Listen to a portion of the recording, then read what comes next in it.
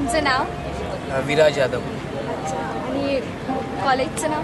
अ, Veermata Jijabai technological institute Matunga. Year third year diploma branch electronics ग्रुपमधले अजून बाकीच्यांचे नाव? हा आहे अंकेश नेरकर सुमित मयेकर आणि हा आहे राजेश डवणकर आणि प्रोजेक्टचं नाव? अ, प्रोजेक्टचं आम आमच्या प्रोजेक्टचं नाव आहे स्पाय कम सर्वेलन्स बोट अच्छा तुम्हाला प्रोजेक्टची आयडिया आली कुठून? अ, जो रिसेंट टेरिबल इन्सिडेंट झाला सव्वीस अकरा मुंबईमध्ये तर ते पुन्हा न होण्यासाठी हा आमचा प्रोजेक्ट आहे. अच्छा आणि याचं वर्किंग काय? किंवा याचं एम काय? ह्याचा काय एम आहे की कोस्टल एरियाला सेफर प्लेस बनवणं. Making coastal areas a safer place जो सी सी टी व्हीचं काम असतं मॉलमध्ये सुपर मार्केटमध्ये तेच काम हा ही बोट करू शकते.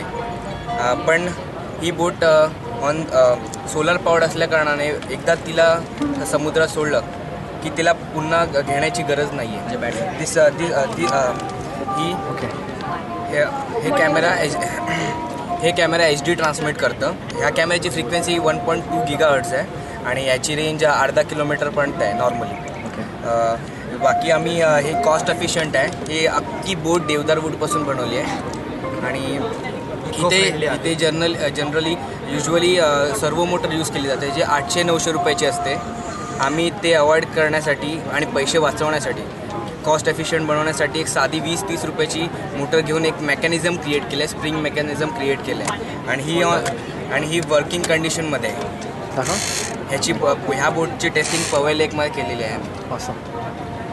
आणि हे वरती जे केलं आहे ते काय? हे आहे सोलर पॅनल ह्याची सोलर पॅनल आम्ही हे आमचं एम हे आहे आमचं मोठं आहे की आम्हाला हे संदेश पा- पो- पोचवायचं आहे की सोलर पॅनल पण आपले सिक्युरिटीसाठी युजफुल आहेत. म्हणजे जी कोस्टल एनर्जी आपली वेस्ट होते सोलार एनर्जी या कोस्टल एरियामध्ये ती आपण नॅशनल डिफेन्ससाठी यूज करू शकतो. एवढाच आमचा एम आहे मीन्स ती कसं काय यूज होऊ शकते? ती सोलार एनर्जी आपण ह्या सेल्समधून कॅप्चर करतो आणि बॅटरी चार्ज करतो ज्यावर आपली पूर्ण बोट वर्क होते. डे टाईममध्ये डे टाईममध्ये अख्खे हे पॅनल्स सगळं सिस्टीमला पॉवर करतात. रात्रीची ही क- ही बॅटरी पॉवर करते जी निक्कल कॅडमियम आहे. आणि जिची बॅ जिची पॉवर आहे four fifty milli amperes per hour तर ही तीन तीन ते चार दिवस आरामात टिकते पण कंटिन्युअसली चार्जिंग डिस्चार्जिंग असल्याकारणाने ती तिला चार्जिंगची गरज लागत नाही.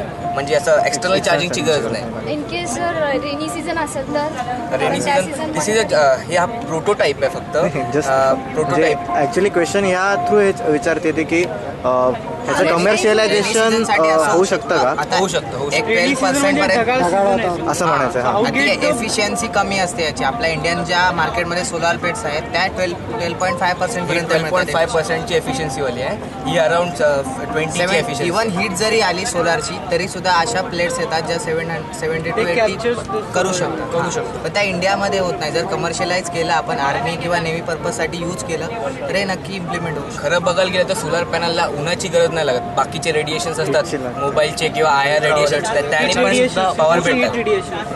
अं, ह्याच्यात जर का कमर्शियल पर म्हणजे कमर्शियली जर का करायचं असेल तर ह्याच्यामध्ये टेक्नॉनिकल टेक्निकली काय मॉडिफिकेशन्स करावे लागतील टेक्निकली? फक्त एकच मॉडि दोन तीन मॉडिफिकेशन करायला लागतील. हा वॉटरप्रूफ बनवायला लागेल. हे थोडंसं सीलिंग करायला लागेल. हा अख्खा इंटरनल जो कंपार्टमेंट आहे तो फक्त सील करायला लागेल. बाकी काही नाही. High high solar solar plates आणि हा लास्ट आता आलाय आम्हाला अराउंड सिक्स थाउजंड आलं आहे अच्छा आणि हा कमर्शियलाइज करायचा असेल तर तुमच्या मतांनी खर्च किती येईल? तर माझ्या अंदाज आहे म्हणजे अंदाजे आ- आता आणि मार्च- ह्या प्लेट्स तसल्या वॉटरप्रूफ पाहिजे. मीन्स कोणत्या? त्या ढगाळ वातावरणात पण एनर्जी हे करू शकतो अराउंड फोर थाउजंड तरी येणार.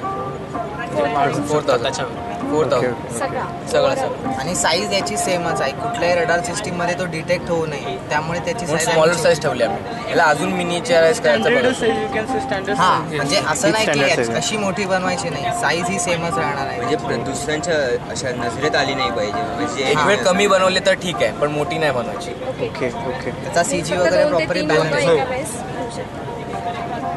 मग ते डिटेक्ट झाल्यानंतर त्यांनी प्रॉब्लेम काय सॉल्व्ह कारण ते जीएसएम सिस्टीम तुम्ही त्याला काही. दुसरीकडे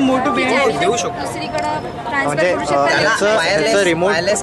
ह्याला. तुम्ही आर्मी सॅटेलाइट्सनी पण कंट्रोल करू शकता. ह्याला तुम्ही जी पी एस लावू शकता. जी पी एस लावलं एकदा आर्मी सॅटेलाइट्सची लिंक सेटअप केली तर मग ह्याची ह्या ह्या रिमोटची पण गरज लागणार नाही. तुम्ही एका कंट्रोल रूमवरनं अख्ख्या इंडियाच्या कोस्टल एरियामध्ये फिरू शकता.